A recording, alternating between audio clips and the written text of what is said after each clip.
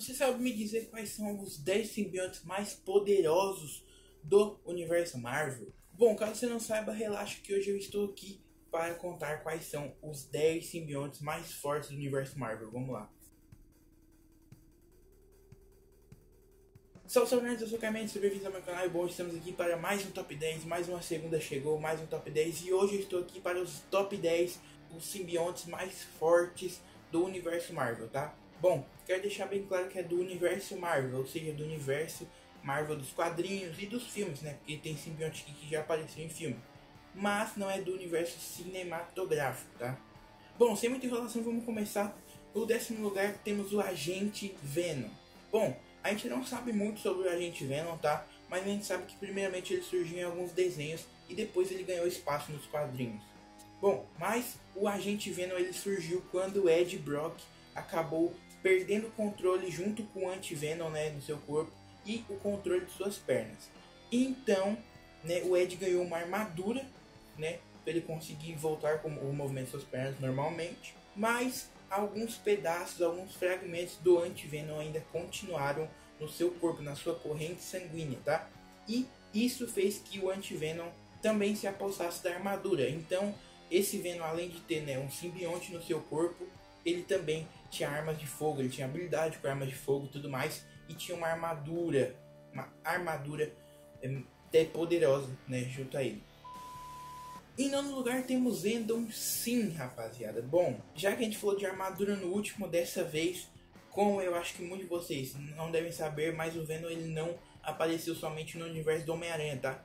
Tony Stark ele também entrou em contato com o simbionte. Então ele conseguiu sua armadura simbiótica, considerado uma das armaduras mais poderosas do Tony Stark na época, no período ali que ele era o Homem de Ferro superior, tá? E também é uma das armaduras mais poderosas que o herói já usou em toda a sua carreira, tá? O traje, é, ele, ele não tem muitos detalhes, tá? Ele não tem muitos detalhes, ele não tinha muita cor, ele era, ele era desse jeito que tá aparecendo pra vocês, branco com, com um azul assim, mas ele tinha uma intensa resistência, rapaziada. E a sua habilidade para se adaptar a qualquer ambiente, tá? Então, qualquer ambiente ele poderia se adaptar facilmente, até porque era um simbionte, né?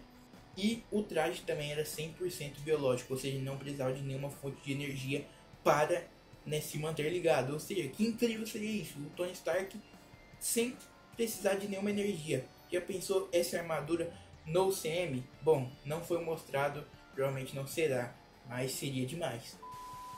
Em oitavo lugar temos o Anti-Venom, rapaziada. Bom, o Ed Brock acabou ganhando o Anti-Venom é, sem querer, tá? Foi por acaso. Foi por acidente total. Bom, essa história aconteceu quando o Ed Brock né, ele contraiu um câncer. O corpo dele foi infectado por um câncer e na tentativa né, do Martilinho, o Senhor Negativo, a, parte boa, a versão boa do Senhor Negativo, é, tentar curar o câncer dele aí o simbionte do Venom acabou se ligando com os, os glóbulos brancos do Ed Brock, tá? E daí nasceu o Anti-Venom. E aí, pô, o resultado vocês já sabem, né? Foi, nasceu um dos simbiontes aí mais clássicos e com consciência própria, efetivamente tornando-se um traje biológico e que o Ed Brock tinha total controle sobre ele. Bom, ele é praticamente igual ao Venom, tá? Mesmo tendo o nome Anti-Venom, ele é praticamente a mesma coisa. A única coisa que muda é que ele não tem aquela sensibilidade, o ponto fraco dele que é o som e o fogo. Então ele não tem isso. Pode tentar bater o sino lá no, no antivenom que não vai funcionar nada. Pode tentar atacar fogo também, que não vai acontecer nada com ele. Ele não tem esse tipo de é, fraqueza, tá? Em sétimo lugar temos Grito, ou Scream, né, no nome original. Dona Diego era uma mulher mentalmente perturbada que eventualmente se envolveu com a Life Foundation, e mais tarde se tornou a anfitriã de uma das crianças simbióticas de Venom. Ela se tornou a vilã, né, conhecida como Grito ou Scream, assim como você quer chamar, a líder de um grupo simbiontes que realizava tarefas para a fundação e até entrar em conflito com Homem-Aranha e com Venom, tá? Bom, ela foi derrotada pelo Venom depois de matar os seus irmãos. Bom, ela foi derrotada pelo Venom depois de matar os seus irmãos simbiontes, né? Depois de um ataque pô, de insanidade total mas ela tentou se consertar depois do incidente. Não durou muito, Ed Brock levou Dona Diego para uma armadilha e a matou com uma adaga aquecida para derrubá-la de uma vez por todas. Bom, suas habilidades eram, eram praticamente né, iguais, similares ao dos outros simbiontes, como Venom. Com algumas exceções notáveis, como a sua habilidade de estender seus cabelos em cachos para fins de ataques. Então ela tinha só essas, essas pequenas diferenças aí do Venom normal. Em sexto lugar temos Sleeper, rapaziada. O simbionte adormecido era muito diferente em comparação aos outros nascidos do alienígena Venom, tá? Esse simbionte em particular tinha uma aparência muito diferente e não assumia algumas das características do simbionte Venom. Como a sua marca registrada, que são seus olhos brancos, né, embelezados e tudo mais. Embelezados para alguns, né? Porque, pô, o bicho é feio, o bicho é, é feio, mas ele é da hora, né? Então, ele era também um simbionte presunçoso, mas ele era leal, tá? Ele, ele protegia os seus hospedeiros, mesmo que ele fosse sujeito à brutalidade de vez em quando. Foi especialmente protetor em relação a Ed Brock, seu filho Dylan e outros, né? Ele também possui técnicas de camuflagem muito maiores, como dobrar a luz do ambiente, a quimiocien... Peraí, eu vou ter que ler isso aqui. A quimiocinese é uma grande vitória para esse simbionte dando a Sleeper né, a capacidade de tranquilizar e manipular os indivíduos com uma série de produtos químicos e feromônios. Em quinto lugar temos o Venom, rapaziada. Mas antes, deixa eu te pedir que a gente chegou na metade dessa, dessa, desse top 10. Se você estiver gostando dessa lista, estiver gostando desse top 10, deixa o seu like, se inscreve no canal, ativa a notificação para não perder nenhum vídeo desse canal. Muito vídeo bom vindo, tá? Lembrando, todo sábado, as notícias da semana, as notícias nerdísticas. Quarta-feira que vem, o último episódio do Arif, a última análise, aqui a mais rápida que eu posso. E toda segunda, assim como esse, um top 10 diferente, tá? É, então, caso você não queira perder os próximos, caso você não queira perder a minha análise de Venom, que dia 6 eu tô correndo pro, pro cinema para assistir, tá? E eu vou trazer análise dia 6 mesmo, então não perde. Vai ter dia 5 aqui no canal quem é o Carneficina, caso você não saiba um pouco da história dele e tudo mais eu vou explicar dia 5 aqui no canal, então não perca. Se você gosta de simbionte, ainda tem muita coisa vindo. Quem é o Carneficina? Análise do filme de Venom, com a minha opinião sincera, tá? E, e muito outros vídeos muito bom vindo, tá? Então já se inscreve aí, deixa seu like para dar aquela força e ativa a notificação para não perder nada e ser um dos primeiros a ser notificado.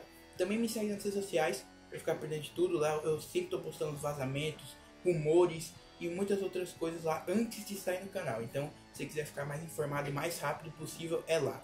Então me segue lá e vamos continuar com a nossa lista com o Venom. A gente não precisa né, falar muito do Venom. O primeiro, o, o, o simbionte original da Marvel, pelo menos ele foi o primeiro a aparecer nos quadrinhos, né? Ele apareceu como traje preto do Homem-Aranha.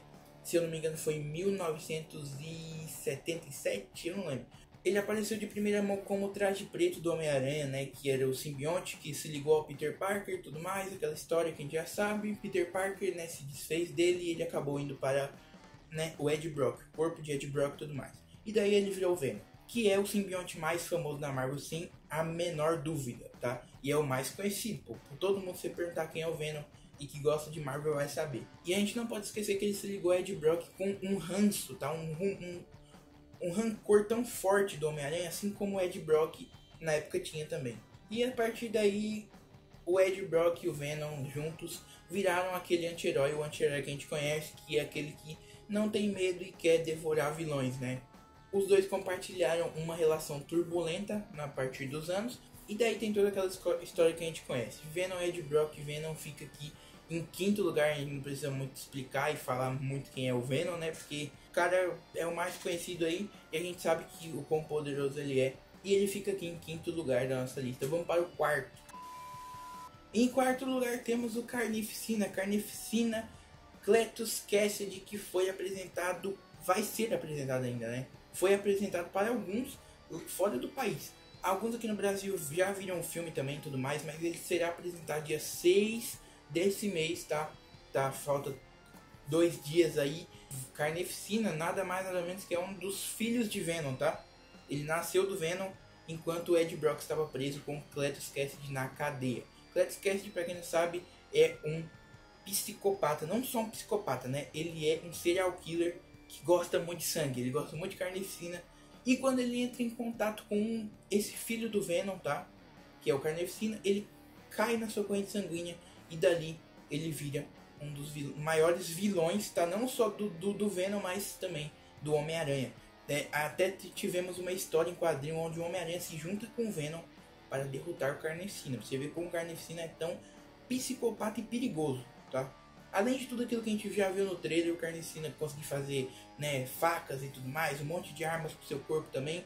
Ele é um simbionte muito forte e muito que nem nome, o próprio nome dele já diz carnificina, né? Ele gosta de carnificina, ele gosta de sangue, ele gosta de arrancar a cabeça mesmo e ele gosta de caos.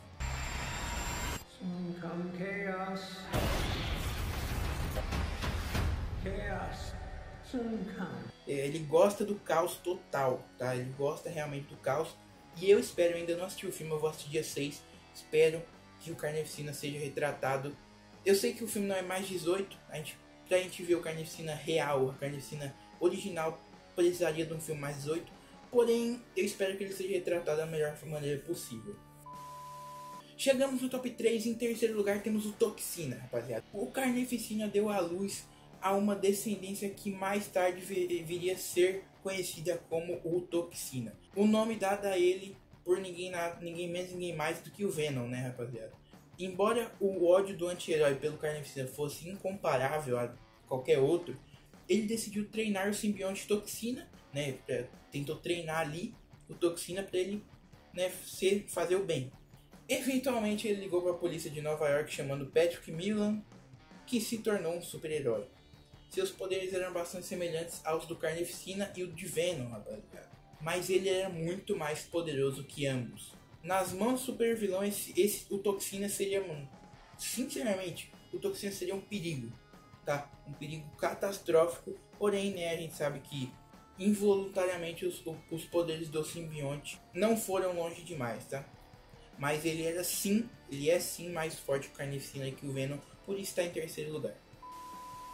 Em segundo lugar temos Grendel, tá rapaziada? Grendel, esse simbionte particularmente foi criado pelo Kinu, o deus dos simbiontes, tá?